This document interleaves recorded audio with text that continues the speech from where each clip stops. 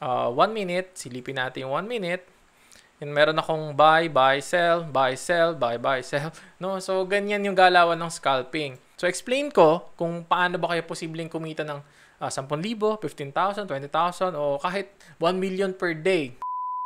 So today, I wanted to share with you kung ano nga ba yung pinagkakaabalahan ko, ano na yung mga ginagawa natin at inaaral natin nitong mga nakaraang panahon. Kasi matagal wala akong na-upload na content, ano? So I've been studying other markets to find greater opportunities and nag-aral ako ng bagong uh, methodologies and uh, mga strategies para mag-fit siya dito sa current profile ko. Kasi medyo gusto kong bawasan yung screen time ko at gusto ko mag-spend ng mas maraming oras dun sa mga mahal ko sa buhay, ano? Dun sa pamilya ko and sa mga ibang bagay na mas mahahalaga pa. Ay ka sa kanila. So, kung gusto niyo siyang kurutin, guys, pindutin niyo lang yung like. Isang like is isang kurot. Pero bago tayo mag-proceed dun sa content natin ngayon, uh, quick update lang muna tayo dito sa challenge port. So yung challenge portfolio na to ay sinimula natin last January 2020 using only 100,000 pesos. So ngayon, ang update sa kanya, 180,000 pesos na siya. So last August, umabot siya ng up to 184,000. But the problem is, um, yung last stock na trinade ko which is Emp, your Emperador, hindi naman tayo nakapagbenta sa pinakatuktok, ano. Hindi mo tayo ganun ka-genius. So, medyo nabawasan yung gain pero yon up pa rin naman tayo ng 80% this year. So our initial goal is umabot to ng hanggang 100% bago matapos yung taong ito. And we're still on track dahil kakapasok pa lang naman ng Burr month. Meron pa tayo apat na buwan. And dito sa Pilipinas, yung mga in-apply natin na strategy para makapag-grow ng account na to is technical analysis. At kung gusto nyo mag-join dito sa aming team, yan kasama ng aking mga current students ngayon at gusto yung matuto ng technical analysis, paano ako mag-trade, ano yung mga strategy natin dito sa Pilipinas. You can check this out. And kung hindi nyo naiintindihan yung mga pinagsasasabi ko sa video na to, meron ding free module dito. I-check nyo na lang sa aking website, panigrowers.ph. And of course, ang pinakahuling update natin ay dito sa aking eToro na account. So ito kasi is publicly traded na portfolio kung saan pwede nyo i-copy, pwede nyo makita yung stats ko, And uh, nakabawi naman tayo this month of August, 0.99%. Pero um, throughout the year, meron pa rin tayong 7% na gain. Ang goal ko lang naman dito is 10% uh, this year. Medyo hindi kasi ako nakafocus dito sa portfolio na to. At naghahanap pa tayo ng methodology dahil alam niyo naman, ako ay trader. Hindi ako investor mode na pang long term talaga guys. So yung mga nagka-copy sa akin, pagpasensyahan nyo na kung mabagal yung growth. Pero slow and steady lang tayo guys. So maraming salamat sa aking mga copyers dito sa eToro. Uh, nawa, God willing, maabot natin yung goal natin this year. So anyway, mag-proceed na tayo dito sa talagang content natin ngayon. So nag-aaral ako ngayon ng scalping at pagde-day trade dito sa US market. At nung buong month ng August, pakita ko lang muna ang aking journal. So nakapag-end tayo ng all green, boy. So 10 days of green, ano. Ang gamit kong broker is uh, ito, Interactive Brokers. So pwede na kayo mag-try. Yung mga non-US resident, pwede mag-open dito. Pero medyo mataas kung dito kayo magde-day trade, no? Kasi dapat yung pera mo is beyond 25,000 US dollars. So, ngayon kasi, na nasa stage tayo ng pag-aaral, meron tayong mga isiniset na goal. So, kung titingnan natin dito sa detail, makikita nyo yung aking stats. Currently, yung winning ko, uh, win rate ko is 54%. So, sa stats ko kasi na to, ang goal ko is maging 70% ito.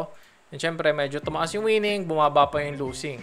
So, pakita ko lang sa inyo yung aking mga trades. Kung makikita nyo, yung scalping kasi or yung day trading is mabilisan yan. At maraming execution na involved. So, makikita nyo rito, 48 yung trades, pero execution ko is 332. Mapapansin nyo, ito execution. Meron ako execution dito na isang stock, pero maraming execution na nakapaloob, 13. Kung titingnan natin sa detail, Masisilip naman natin. to meron tayong chart. Uh, one minute. Silipin natin yung one minute. And meron akong buy, buy, sell, buy, sell, buy, buy, sell. No? So, ganyan yung galawan ng scalping. So, explain ko kung paano ba kayo posibleng kumita ng uh, 10,000, 15,000, 20,000 o kahit 1 million per day. No? It's very possible dito kasi Kano ba yung 1 million per day? $20,833.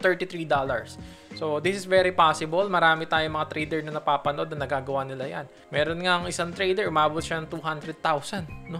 dollars sa loob ng isang araw. So, anyway, start tayo. Magkwenta-kwenta tayo at ma-explain ko sa inyo yung konsepto. Yan. So, kung ang target natin, kumita tayo, palagay na lang natin na 10,000 pesos per day.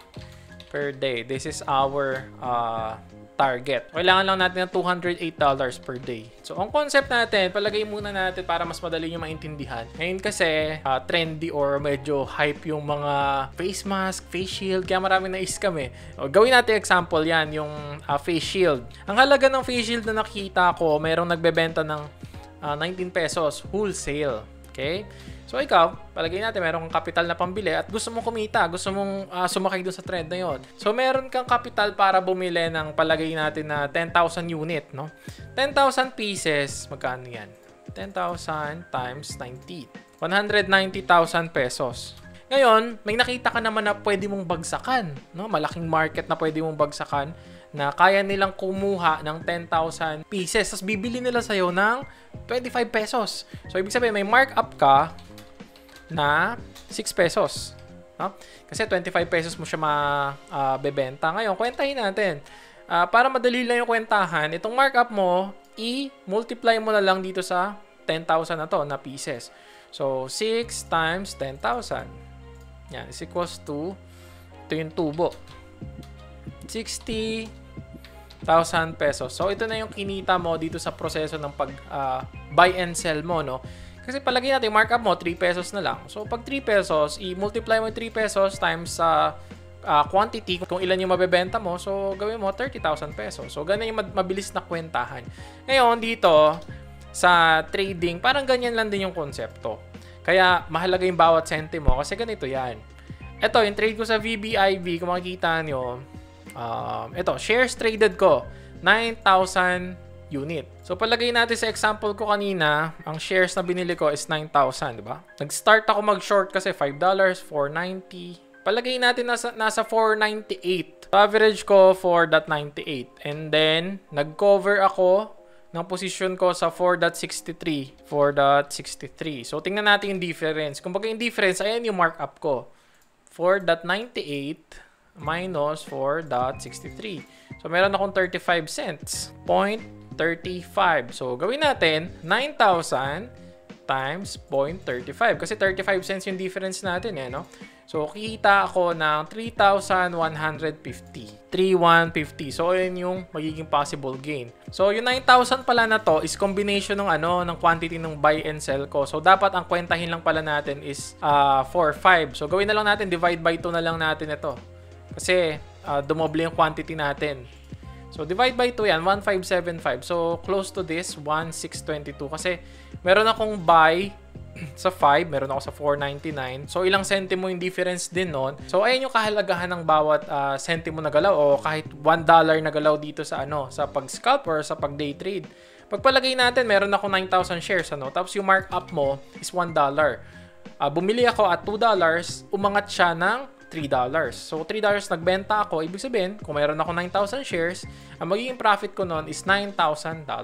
Pero kung 50 cents lang yung galaw niya, at nasa mo yon meron ka ring hawak na 9,000 shares, ang magiging profit mo is $4,500.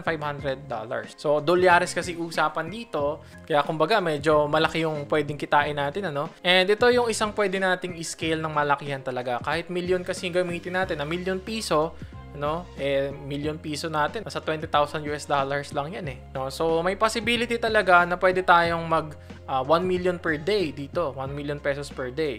Pero 'yun, bakit nga ba tayo naghanap ng opportunity dito sa ibang market? Kaya nasabi ko sa inyo kanina, gusto ko kasi na bawasan na yung screen time ko.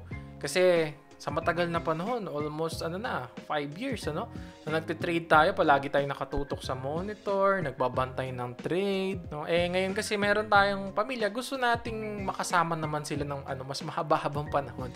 So, para sa akin, worth it talaga itong trading. Pero hindi na siya worth it kung papagpalit mo na yung mga bagay na hindi kayang bilhin ng pera para lang dito sa trading na ito. So I believe, no, maganda yung potential na pwedeng ibigay sa atin itong US market ng pagde-trade dito. At isa sa dahilan kung ba't ko ginawa yung video na to is para ma-inspire yung mga trader na tingin nila, "Ay, wala namang kwenta yung trading na yan, walang kwenta endeavor na yan, ano?" Kasi yung Pilipinas, medyo slow talaga tayo and walang bagong product na nire-release yung PSE sa atin. Wala pa rin yung shorting. So, nagiging limited yung potential, no? Sabihin na natin, sobrang galing mong mag-trade pero nakakulong ka dun sa maliit na cage na yon. So, that's why pwede naman tayong humanap ng ibang opportunity kahit mag-trade ka ng Forex, mag-trade ka ng mga commodities, no? Mag-trade ka sa ibang market para magamit mo yung skill mo. Let's say, uh, master ka ng technical analysis o sabihin natin fundamental analysis. Kung ano man yung edge na meron ka, baka pwede mo rin gamitin sa ibang market pa. Para kumbaga, mas scale mo, mas lumaki yung trading business mo. Now, I believe itong day trading, darating yung panahon, this is going to be the new meta. New meta na to dito sa Pilipinas, mas maraming Pilipino yung magde-day trade in the years to come. So expect nyo na rin, nagagawa ako ng maraming content about uh, day trading sa mga susunod na panahon. Uh, Mag-share ako sa inyo ng aking journey. Kasi ngayon, ang ganda pa tignan eh, no? All green. Pero maraming araw na ano ha, na hindi ganito, hindi green yan. Ibig sabihin, uh, during the day, negative ako. Meron dito negative 1,600 ako eh, itong araw na yon. Tapos bigla na-recover ko lang siya. So, kahapon, ganun din yung nangyari. Negative 300 ako, tapos na-recover ko lang siya. Kaya na-recover ko lang yung trade na to. Now, hindi din ganito kalaki yung aking ano, uh, gain. Itong 155 na to, may bawas pa to ng mga commissions ko, ng mga fees ko sa broker ko. Kasi ganun pag nag-scalp ka, pag medyo mahal yung bayad sa fees ng yung broker. Pero tingnan nyo na lang din yung mga pricing nila. So, ayan lang siguro yung may babahagi ko sa video na to. So, and hopefully, kung mayroon mga nanonood na trader dito galing sa Pilipinas, baka ma-inspire ko ulit kayo. Uh, may malaking opportunity na naghihintay sa atin sa ibang mga markets pa. So, maraming salamat sa inyong oras at panonood. Kung natripan niyo yung mga ganitong content, uh, i-like nyo na lang, uh, i-share nyo, uh, at abangan nyo yung mga susunod nating upload. Sa susunod na ulit tayo mag-shoutout guys. Maraming salamat sa inyong lahat.